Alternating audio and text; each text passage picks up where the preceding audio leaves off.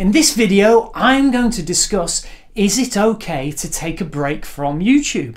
Contradicting all the advice that YouTubers get about posting regularly and consistently. Hmm. Hello, I'm Paul Douglas. If you're watching this and you haven't yet subscribed to this channel, then please consider subscribing by clicking that button down there and the notification bell to get notified of new videos. Now, this video is not exclusively about music, but it certainly fits in with the content of this channel in that it is fundamentally about what I do on this channel, um, i.e. making videos and posting them to YouTube. Now, what prompted me to make this video was um, I've had a few months off making YouTube videos uh, and I thought, I can't be the only one who's done this. And I thought the discussion of the reasons why could be interesting. And hopefully help some people who might watch this and go, oh yes, me too. And make them feel that it is okay. You're not breaking some cardinal rule. So then, is it okay to take a break from YouTube? Now, I, sh I, should point out here, I'm not talking about huge YouTubers who've got millions upon millions of subscribers, where YouTube may be their full time or at least a substantial part of their income.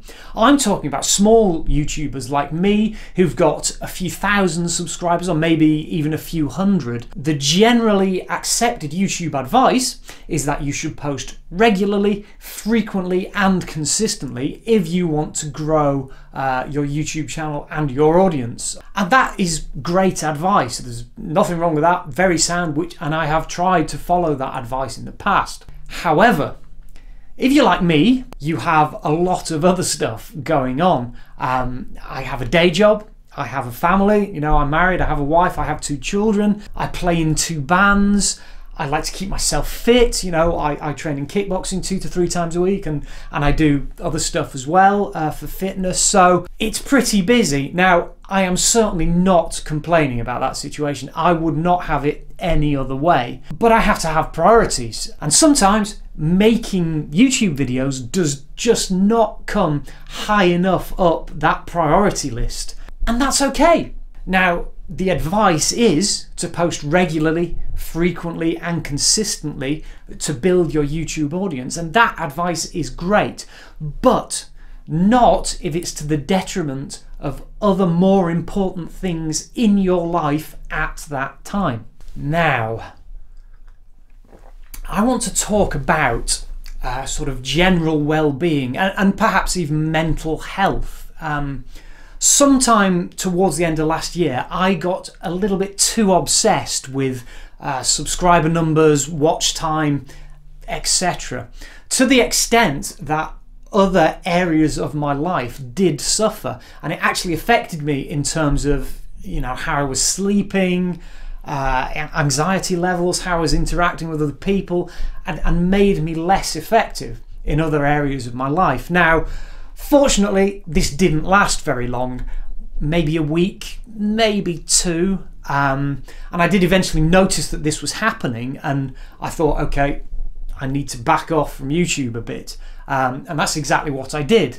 Uh, and after a while, I started to feel much better. But it does illustrate that, that running a YouTube channel and watching all those stats can become addictive in a negative way and, and it's easy to get carried away.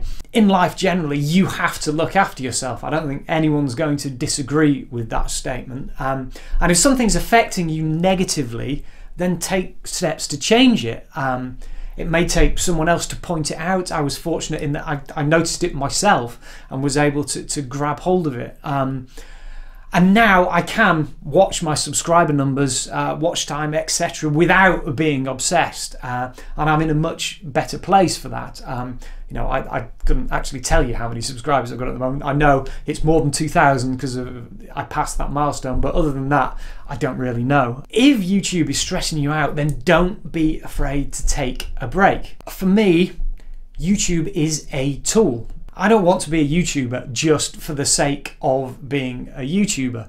Um, I want to be a musician. That's what this channel is all about.